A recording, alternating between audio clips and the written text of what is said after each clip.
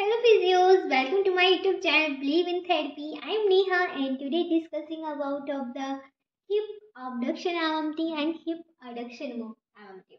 Last के video में हमने फ्लेक्शन और एक्सटेंशन की एमटी का प्रोसीजर है वो ऑलरेडी डिस्कस कर रखा है लिंक आपको डिस्क्रिप्शन में मिल जाएगा तो हिप abduction और हिप abduction adduction मूवमेंट्स कैसे कराएँगे टेस्टिंग कैसे करेंगे वो समझ लेते हैं तो जैसा कि हमने आपको बताया जब भी आप स्टार्ट करते हो एम टेस्टिंग करना तो उसका उससे पहले आपको कंपोनेंट्स पता होने चाहिए प्रिंसिपल्स पता होने चाहिए। देन उसके बाद जब भी आप स्टार्ट करेंगे तो हमेशा ग्रेड थ्री से ही आ, टेस्टिंग करना स्टार्ट करेंगे जो कि हम लास्ट वीडियो में ऑलरेडी आपको बता ही चुके हैं। यहाँ पे फिर से एक बार क्विक रिकैप कर लेते हैं। मीन्स जब भी आप ग्रेड थ्री टेस्टिंग करेंगे तो उससे क्या रहेगा कि आपको पता चल जाएगा कि पेशेंट ग्रेड थ्री यदि कर पाया तो ग्रेड वन और ग्रेड टू ऑलरेडी उसका क्लियर है। तो आपको वो नहीं कराना है ग्रेड थ्री के बाद ग्रेड फोर और ग्रेड फाइव पे फोकस करना है। तो इससे टाइम आपका बच जाएगा ओके तो ग्रेड ज़ीरो जैसे कि आपको पता है, कोई भी कॉन्टिक्शन कोई भी मूवमेंट्स नहीं होगा पालपेट करने के बाद। कुछ भी फील नहीं होगा मीन्स मसल्स है, वो बहुत ज़्यादा वीक है, बहुत ज़्यादा वीक है मीन्स फ्लैसिड मसल्स हो गए। वहाँ कोई भी टोन नहीं है, कोई भी कॉन्ट्रिक्शन नहीं है। और ग्रेड वन में क्या होता है कि हम वहाँ पे जो मसल्स है, जो भी मसल्स उस मूवमेंट्स के लिए रिस्पॉन्सिबल है। जैसे कि हमारे जो abduction मूवमेंट्स के लिए हमारी ग्लूटस मीडियस मसल्स रिस्पॉन्सिबल है तो उससे आप पालपेट करेंगे। तो इससे पहले आपको पता होना चाहिए कि कौन सी मसल्स किस मूवमेंट्स के लिए होती है। जब आपको पता होगा, तभी तो आप पालपेट कर पाएँगे उस एरिया पे। तो हमने ये भी वीडियो ऑलरेडी बना रखा है इसमें कि मसल्स के मूवमेंट्स किसके लिए रिस्पॉन्सिबल होते हैं तो वो आप देख सकते हैं ओके तो जब मसल्स हमारी बहुत ज़्यादा वीक है तो पेशेंट किस पोजीशन में होगा? आप खुद से आइडिया लगा लेंगे कि सुपाइन लाइन पोजिशन हो सक, होगी साइड लाइन भी हो सकती है। साइड लाइन में क्या है कि आपको थोड़ा सपोर्ट देना पड़ेगा पेशेंट को। सुपाइन लाइन पोजिशन में नॉर्मली पेशेंट रहेगा कि मसल्स बहुत ज़्यादा वीक है। थेरेपिस्ट पोजिशन क्या होगी? मीन्स जिस साइड वो टेस्ट कर रहा है उसी साइड पेशेंट खड़ा होगा। सो ये थेरेपिस्ट खड़ा होगा पेशेंट की। थेरेपिस्ट साइड में खड़ा हो जाएगा टेस्टिंग साइड एंड पेशेंट से बोलना है कि एबडक्शन मूवमेंट्स करो, पर पेशेंट एबडक्शन मूवमेंट्स नहीं कर पाएगा। क्योंकि मसल्स वीक है। तो क्या करना है? जो थेरेपिस्ट है, उसे अब टू द एंकल ज्वाइंट वहाँ पे कुछ देर के लिए थोड़ा सा हैंड से होल्ड करना है लेग को। एंड लेग को होल्ड करके उसे साइड में काउच की साइड में लेके जाना अपडक्ट कराना है। क्योंकि पेशेंट खुद से नहीं कर पा रहा है तो आपको पैसिवली abduction मूवमेंट्स कराना है पेशेंट को, पर वहाँ पे याद रखना है कि कोई भी आपको रेजिस्टेंस नहीं देना है। ओके एंड जो टेस्टिंग प्रोसीजर क्या रहेगा? पेशेंट आर team to the abduct the hip patient को हमें क्या abduction कराना है हिप का? एंड इंस्ट्रक्शन आपको क्या देने हैं? Bring your leg outside the couch patient से बोलना है कि अपनी लेग को काउच की साइड लेके जाओ काउच से बाहर लेके जाओ तो वहाँ इसलिए आपको थोड़ा सा असिस्ट करना भी पड़ेगा पेशेंट को होल्ड करने के लिए। ओके सब ग्रेड ज़ीरो ग्रेड वन होने के बाद आप ग्रेड टू परफॉर्म कराएँगे। तो grade two so now discussing to the grade two grade two हमेशा क्या होती है कि ग्रेविटी एलिमिनेटरी पोजिशन में होती है, क्योंकि पेशेंट की जो मसल्स होती है, वो पीक होती है। तो ग्रेविटी एलिमिनेटरी पोजिशन जो होगी पेशेंट की वो सुपाइन लाइन पोजिशन होगी। जो थेरेपिस्ट की पोजीशन होगी वो टेस्टिंग साइड जिस लिम को टेस्ट करा, उस साइड खड़ा होगा। एंड क्या करेगा? जो लेग को होल्ड करेगा। डिस्टली होल्ड करेगा। बिकॉज़ क्योंकि जो, जब भी पेशेंट अपने हिप जॉइंट को अपडक्ट करता है तो जैसे ये काउच हो गया तो यहाँ से जैसे पेशेंट अपडक्ट करेगा लिम को बाहर की ओर लेके जाएगा तो जो हमारी बेड सीट होती है काउच होता है, उससे क्या होता है? थोड़ा सा फ्रिक्शन फॉर्म होने लगता है। उस फ्रिक्शन को रिड्यूस करने के लिए जो थेरेपिस्ट है under the ankle joint patient को थोड़ा सा लिम को होल्ड करेगा एंड बाहर की ओर उसे पेशेंट को लाने में हेल्प करेगा। बट वहाँ पे आपको कोई भी रेजिस्टेंस नहीं देना है इस प्रोसेस में। तो जो प्रोसीजर होता है, उसमें बस यही है कि पेशेंट अडक्ट द हिप पहले पेशेंट अडक्ट करके रखेगा लिम को इस टाइप से एंड देन उसके बाद पेशेंट बाहर की ओर लेके जाएगा अपडक्ट करेगा, जिससे कि हमारी जो मसल्स है वो कांटेक्ट होगी। यहाँ पे लोअर मोस्ट लिम या हम अपर मोस्ट लिम भी बोल सकते हैं, या नॉर्मल या अब नॉर्मल लिम भी बोल सकते हैं यदि अफेक्टेड है तो। नहीं तो हम राइट एंड लेफ़्ट लेग का भी यूज़ कर सकते हैं यहाँ पे। तो यहाँ पे adduct the hip under the lowermost limb and contact the uppermost limb instruction क्या देने पेशेंट को bring your leg outside the couch couch से बाहर आपको लेके जाना है। लेग को मीन्स पेशेंट से बोलना है। बेड से बाहर लेके जाना है। पेशेंट की लैंग्वेज में ही इंस्ट्रक्शन देने। हैं ओके अब नेक्स्ट हम समझते हैं grade three grade four and grade five so grade three जो होती है, हम फुल रेंज मोशन में परफॉर्म कराते हैं। पोजिशन को पेशेंट को होल्ड करने को बोलते हैं बट वहाँ पे कोई भी रेजिस्टेंस नहीं देते हैं। ग्रेड फोर में क्या होता है कि थोड़ा सा मॉडरेट रेजिस्टेंस देते हैं एंड ग्रेड फाइव में क्या होता है कि पेशेंट को होल्ड करने को बोलेंगे एंड एक मैक्सिमम रेजिस्टेंस देते हैं। ओके तो ये प्रोसीजर तो आपको पता चल ही क्या होगा grade three grade four and grade five जो पेशेंट पोजिशन रहेगी, वो हमेशा साइड लाइन पोजिशन रहेगी। साइड लाइन पोजिशन रहेगी. विद द टेस्ट जिस भी लिम को आप टेस्ट कर रहे हो, वो अपर मोस्ट होगा एंड जो लोअर लेग होगा, वो फ्लेक्स में रहेगा. थोड़ा सा स्लाइटली फ्लेक्स रहेगा, वो भी स्टेबिलिटी के लिए.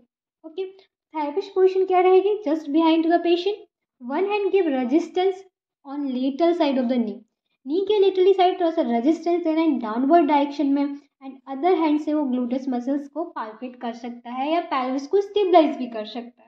ओके एंड टेस्टिंग जो प्रोसीजर क्या रहता है? Patient abduct the hip without flex in the hip और नी आपको बोलना है कि अपने लिम को ऊपर की ओर लेके जाओ तो इस तरह क्या होता है कि जब हम ये प्रोसीजर कराते हैं तो पेशेंट कभी कभी ट्रिक मूवमेंट्स कर लेता है। ट्रिक मूवमेंट्स में वो क्या करता है? अपने हिप जॉइंट को फ्लेक्स कर लेता है।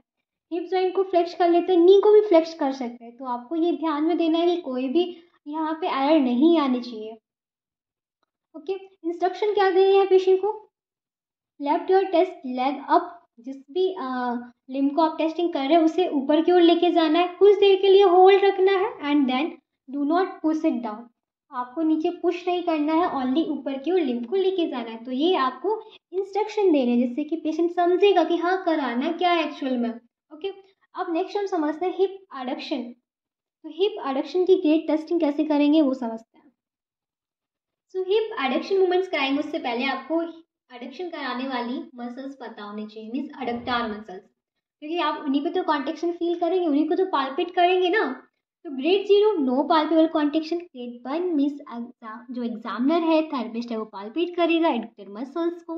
वहाँ पे कोई भी ज्वाइंट का मूवमेंट्स नहीं होता है ग्रेड वन में। ओनली मसल्स कॉन्टेक्ट करती है। पेशेंट पोजीशन क्या रहेगी? सुपाइन लाइन पोजिशन रहेगी, क्योंकि मसल्स बहुत ज़्यादा वीक है। वीक रहेगी तो मीन्स पेशेंट की कंफर्टेबल पोजिशन होगी। तो सुपाइन लाइन पोजीशन जो होती है वो कंफर्टेबल होती है तो supine line therapist position means जिस भी साइड टेस्ट कर रहा है, उसके साइड खड़ा होगा पेशेंट एक हाथ से सपोर्ट देगा एंकल पे एंड अदर हैंड से वो पालपेट करेगा एडिक्टर मसल्स को. अब एंकल पे सपोर्ट क्यों देगा? क्योंकि मूवमेंट्स कराने में पेशेंट को एक्टिवली हेल्प करेगा सॉरी पैसिवली हेल्प करेगा. कि पेशेंट मूवमेंट्स नहीं कर पा रहा मसल्स वीक होने की वजह से तो वहाँ पे वो सपोर्ट देगा. सो so, प्रोसीजर क्या रहेगा? पेशेंट को बोलना है अडेक्ट द हिप अब अडेक्ट द हिप कैसे करेगा? एक हम लिम जो है हमारा नॉर्मल उससे हम थोड़ा सा दूर रखेंगे फिर पेशेंट को बाहर से अंदर की ओर लिम को लेके आना है। तो वो आप पैसिवली ही कराएँगे। इंस्ट्रक्शन क्या देना है? Bring your leg in leg को अंदर की ओर लेके जाओ। Okay so grade two grade two जैसा कि आप सब लोग जानते हैं ग्रेड टू एक ग्रेविटी एलिमिनेटेड पोजिशन में होती है। तो gravity eliminated supine line position रहेगी क्योंकि मसल्स वीक है। वहाँ पे ग्रेविटी कम लग रही है। Therapist position stand to the side of the test limb जिस भी लिम को टेस्ट कर रहे हैं मीन्स थाई लेवल के लेवल में खड़ा होगा। एंड वन हैंड से पालपेट करेगा हमारी एडिक्टर मसल्स को। And other hand will hold the limb means under the ankle prevent friction जैसे कि हमने आपको अब्डक्शन मूवमेंट्स में बताया था, एक हाथ से हम मसल्स के कॉन्टेक्शन को फील करेंगे। और अनदर हैंड से अंडर द एंकल ज्वाइंट आप होल्ड करेंगे एंड पेशेंट को हेल्प करेंगे मूवमेंट्स कराने में। अब क्या होता है यहाँ पे पेशेंट जैसे मूवमेंट्स करेगा अडक्शन करेगा तो उसके बैड सीट या काउच से थोड़ा सा फ्रिक्शन होगा।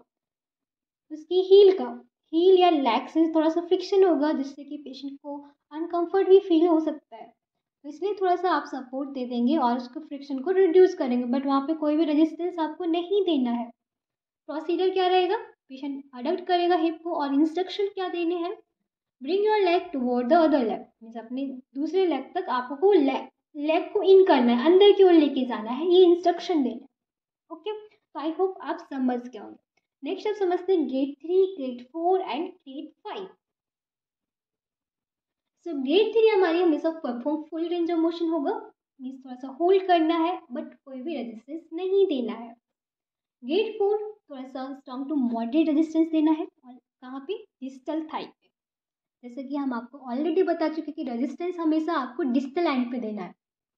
एंड ग्रेड फाइव में फुल रेंज ऑफ़ मोशन आएगा। कुछ देर पेशेंट होल्ड करेगा। Against to the strong resistance जैसे आप रेजिस्टेंस दे रहे हो पेशेंट थोड़ी देर होल्ड कर पा रहा है तो मीन्स वो उसकी ग्रेड फाइव हो गए पेशेंट पोजिशन क्या रहेगी यहाँ पे? क्योंकि आपको मसल्स स्ट्रेंथ अब थोड़ी सी मसल्स क्या हुआ? स्ट्रेंथ इंक्रीज हो गई। तो स्ट्रेंथ इंक्रीज हो गई तो पेशेंट साइड लाइन पोजिशन में आ जाएगा। पेशेंट की जो पोजिशन रहेगी वो हमेशा साइड लाइन पोजिशन रहेगी। साइड लाइन रहेगी क्योंकि अब धीरे धीरे मसल्स उसकी स्ट्रॉन्ग हो गई है। जब मसल्स वीक थी तो हम सुपाइन लाइन पोजिशन में टेस्टिंग कर रहे थे। अब मसल्स थोड़ा स्ट्रॉन्ग हो रही है तो आप साइड लाइन पोजिशन करा सकते हो। जो साइड लाइन पोजिशन कराएँगे आप, जिस भी लिम को आपको अडप्ट कराना है, उस लिम को आपको बेड साइड रखना है। बेड साइड जो सरफेस है, उससे सपोर्ट देना है। और जिस लिम को आपने फ्री रखा है, जिसको टेस्टिंग नहीं करना है, उस लिम को आप अपर मोस्ट रखेंगे। अपर मोस्ट रखेंगे, थोड़ा सा उसे ट्वेंटी फाइव डिग्री आप abduction कराएँगे। मीन्स जो पेशेंट की पोजिशन रहेगी ट्वेंटी फाइव डिग्री abduction कराने के बाद आपको वहाँ पे होल्ड कर लेना है।